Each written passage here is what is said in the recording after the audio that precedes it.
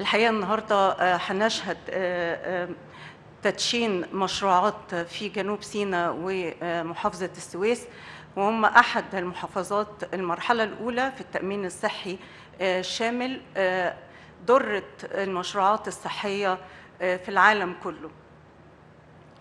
الحقيقة برضو يعني في كل مناسبة بنحب نقول إن ونتذكر كلمة سيادة الرئيس عن حقوق الإنسان. وقبل ما يعني نقول هذه الكلمة برضو أهني سيادته وأهني الشعب المصري بإطلاق استراتيجية حقوق الإنسان أحد دعائم الجمهورية الحديثة.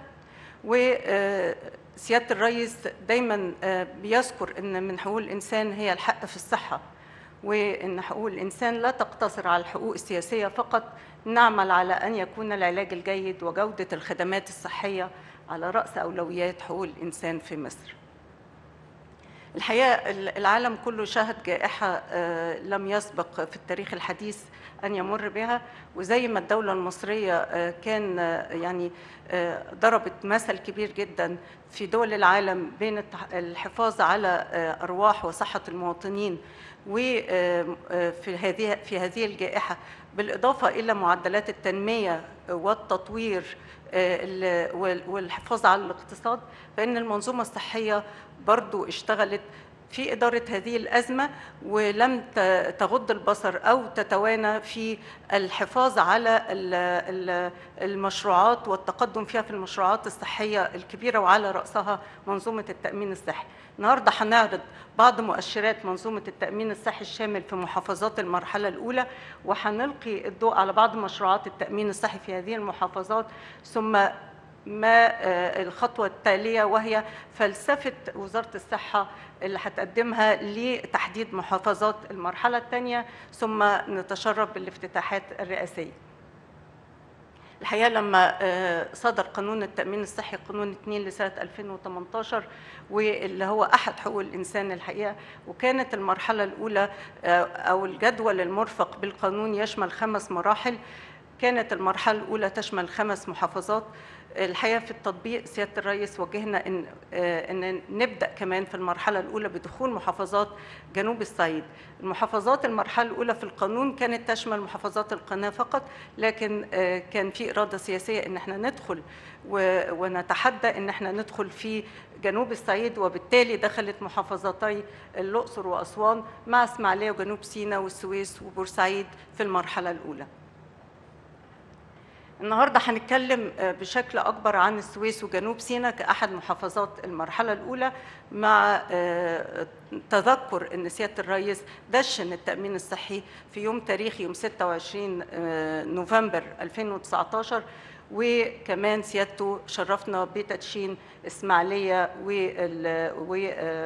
والاقصر في شهر فبراير من هذا العام. إحنا منظومة التأمين الصحي سجلت في كل محافظات المرحلة الأولى أكثر من 5 مليون مواطن طورت ما بين إنشاء جديد أو تطوير 52 مستشفى وأكثر من 310 وحدة صحية ومركز طبي. اعتمدت أكثر من 90 منشأة صحية ولو إن قانون التأمين الصحي بيدي ثلاث سنوات لاعتماد هذه المنشآت لكن الحقيقة في التطبيق قدرنا إن إحنا نتخطى الزمن ونطبق في وناخد الاعتماد في كثير من المنشآت خلال سنة ونص. البنية التحتية والتطوير البنية التحتية والمعلوماتية في نظام التأمين الصحي حتى الآن اتكلف أكثر من 51.5 مليار جنيه مصري. طب ده انعكاسه إيه على المواطن المصري في السنتين اللي طبقنا فيهم التأمين الصحي في بعض المحافظات؟